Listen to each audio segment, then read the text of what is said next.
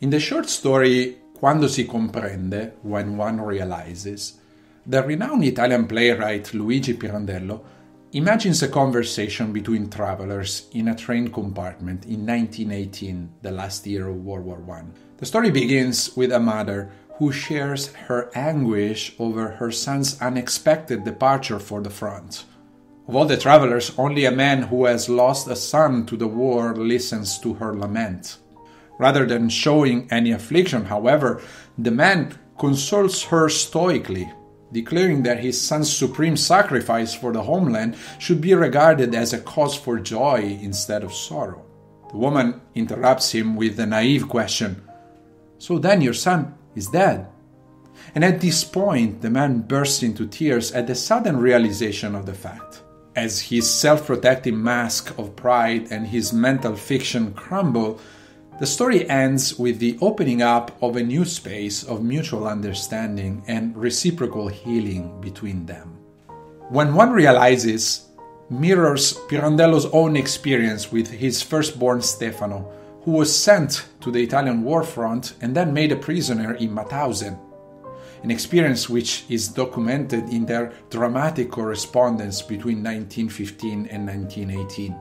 Pirandello's novella, however, also provides a good setting for understanding our protagonist for today, the visionary entrepreneur and innovator Ferdinando Bocconi, who also lost a son to war without being able to embrace him again, and who also converted a shared sorrow into a new life giving story. The story of Ferdinando Bocconi and his son Luigi takes place two decades earlier in 1896. At that time, after the establishment of Italy's first commercial outpost in the Eritrean port of Massawa, and above all after the security debacle of Dogali in 1887, the nation was resolved to bring to completion its colonial venture in the Horn of Africa.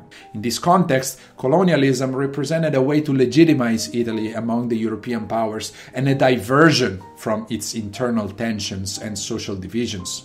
In an effort to build on the Eritrean colony, the Prime Minister Francesco Crispi lobbied to send Italian troops to Ethiopia in the mid 1890s, gradually invading its territory in violation of the 1889 non aggression treaty of Wuchale. The Ethiopian Emperor Menelik II organized the military resistance and, in response to Italian penetration, launched a surprise attack in Adwa between February 29 and March 1, 1896. Thanks to a larger army, the Ethiopians killed 6,000 and took 3,000 prisoners, forcing Italians to withdraw and eventually sign the Treaty of Addis Ababa, recognizing Ethiopia as an independent state. The event which marked the first victory of a non European army against an industrialized Western nation, caused worldwide shock, which would be echoed only two years later by a similar sense of dread at the US victory against Spain in the war over Cuba. The shame of Adwa led to the immediate resignation of Prime Minister Crispi, but the loss became a recurring trope in Italian politics, as seen in 1936 when Mussolini presented his military campaign against Ethiopia as a vindication for the defeat of 40 years before. In our context, the Ethiopian site of Adwa was the place where 27 year old Luigi Bocconi, the firstborn of a prominent Milan entrepreneur, met his unexpected death. His father, Ferdinando Bocconi, was a self made man Born in 1836 to a very poor family, he had worked as a street vendor in his hometown of Lodi. At 14, he convinced his father to move to Milan, where he continued his ambulant trade of fabrics. In his 20s, he served as a soldier, both in the independence wars and in the internal war to repress the southern brigand opposition to Italian unification, a war which claimed about 200,000 lives between 1862 and 1865. Upon his return to Milan in 1865, Bocconi married Claudina Griffini and opened his first stable shop in Via Santa Radegonda near the Galleria Vittorio Emanuele, which would be completed two years later. In another episode, I talk about Davide Campari, the first Milanese to be born in the Galleria. In the subsequent years, Bocconi's family expanded with the birth of his three children. Luigi in 1869, Ettore in 1871, and Ferdinando Jr. in 1873. His business also took off as he and his brother Luigi acquired a hotel in the center of the city in 1877 and turned it into a department store selling clothing and furniture items. The store, which he called Aux Villes d'Italie and then translated into the Italian Alle Città d'Italia, launched a new model of large scale retail, which combined many different departments under a new industrial management. It was the first to introduce printed sale catalogs and to conduct customer surveys and market analysis. The store moved to Piazza Duomo in 1889, and during the 1890s, the Magazzini Bocconi opened new branches in Turin, Genoa, Trieste, and Rome. In parallel with the expansion of the business, which grew to about 2,000 employees, Ferdinando Bocconi also acquired significant political influence in the mid 1890s as Crispi sought his endorsement to win the support of Milan's industrialists. Now, despite this extraordinary growth, Ferdinando's son Luigi was not particularly interested in the family business. Moved by the same independent spirit and desire for adventure as his father, he loved traveling and pursued a career in journalism. Thanks to his father's contact with the Crispi cabinet, he actually obtained permission to follow the Italian troops in Ethiopia as a correspondent for the newspaper La Riforma. So, as his father had once left Lodi for the big city, he also left in search of a broader horizon in Africa. He would never return, and his body was never found. In the wake of the military disaster, his father waited in vain for news as his son was just reported as missing. If you remember the end of Homer's Iliad, you might get a sense of his struggle. The poem concludes with an incredibly moving scene the Trojan king Priam, who humiliates himself by visiting Achilles and begging him to return the body of his son Hector, whom Achilles had just brutally killed. Can you imagine how many contacts or diplomatic channels Bocconi must have activated in search of his son?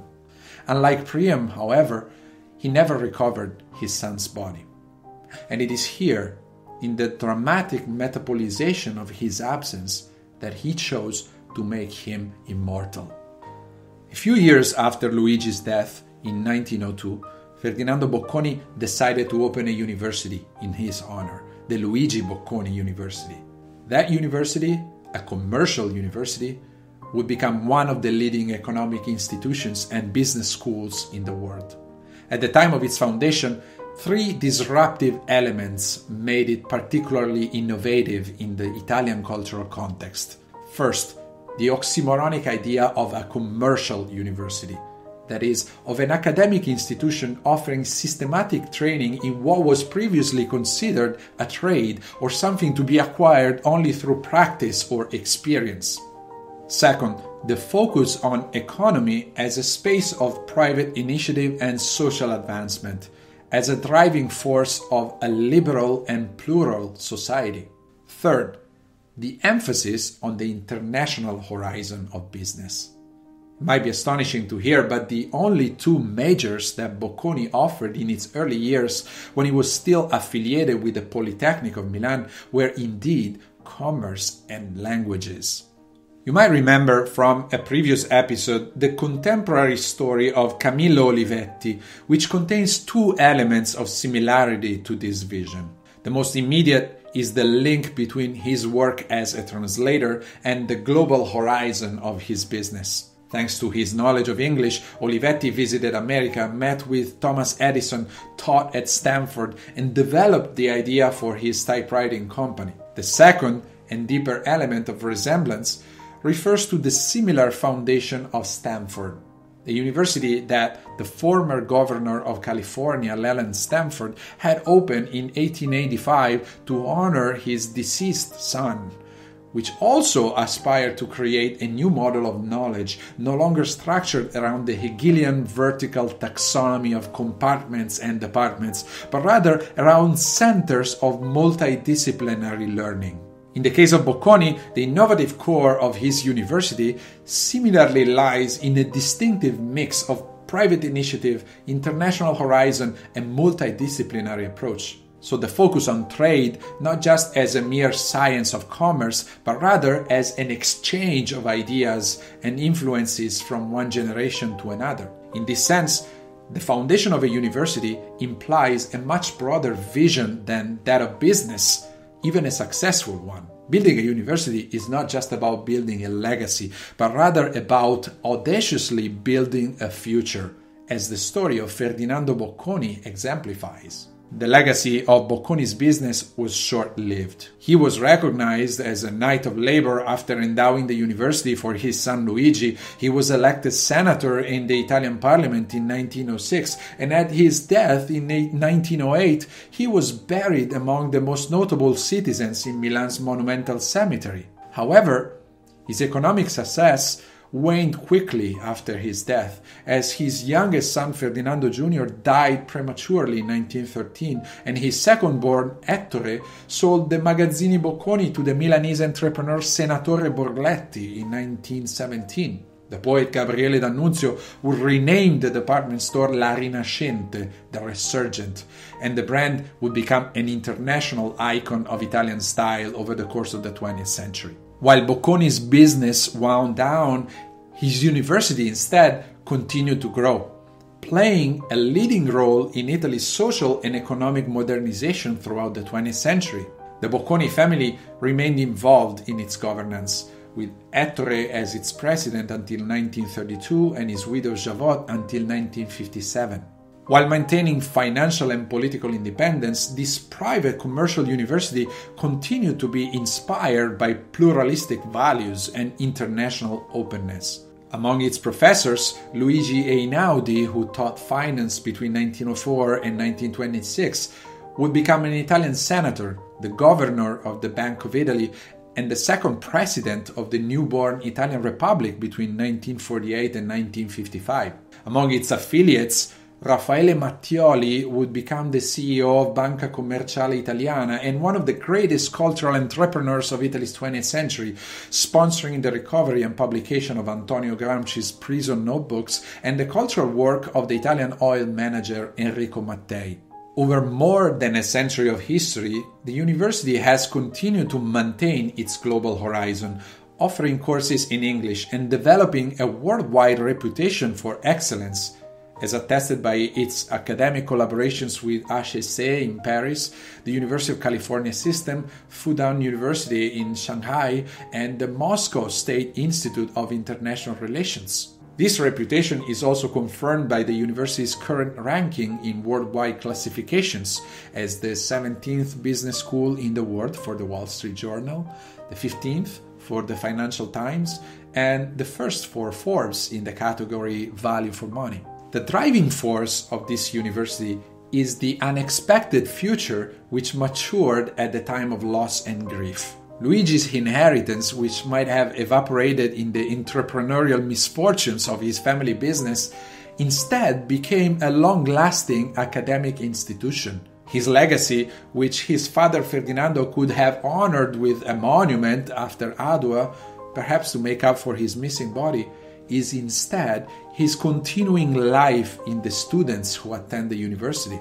It might be just a name for many, Luigi Bocconi, but actually, Luigi's desire to break the boundary of his father's commerce and of his city and to enter into an adventurous world of connections and discoveries lies at the core of his academic institution, which now forms the elite of Italian economic and social life. This is also what every university should aspire to do when one realizes that a shared grief can be the engine of rebirth, when one realizes that all of the money in the world cannot bring someone back to life, when one realizes that our lives never really end, whether through memory, legacy, or a hopeful of immortality, then it becomes easy to understand that the only true innovation is to live every moment intensely to share our dream with others, to really dare to outlast our time on earth by generating fruits that endure. The story of Ferdinando Bocconi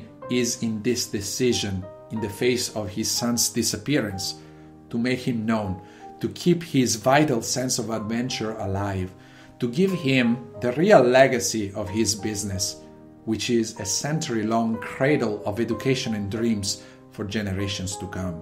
Thank you very much for watching. I invite you to subscribe to this YouTube channel or to the webpage www.italianinnovators.com to receive notifications of new episodes. You can also follow me on my LinkedIn profiles or at Instagram at Italian Innovators for additional materials about the show. Thanks again. Arrivederci e alla prossima.